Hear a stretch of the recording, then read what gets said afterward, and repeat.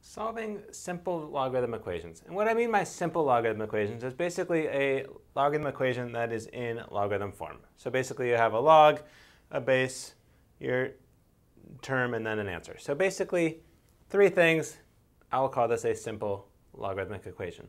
And really all you have to do whenever you're solving something in this form is put it into exponential form. Okay? No matter where the x is, we're going to deal with x's in all three of these spots. Just put it into exponential form and solve. Okay, so this one, the 3 is going to come up and around, leaving us with x is equal to 3 to the negative 2. And this problem is now just turned into evaluating an exponent. The negative puts everything in the bottom, the 2 squares it, and we end up with x is equal to 1 over 9. So when we have anytime we have an equation in log logarithmic form, in order to solve it, put in an exponential, and then solve it as you would any other exponential equation.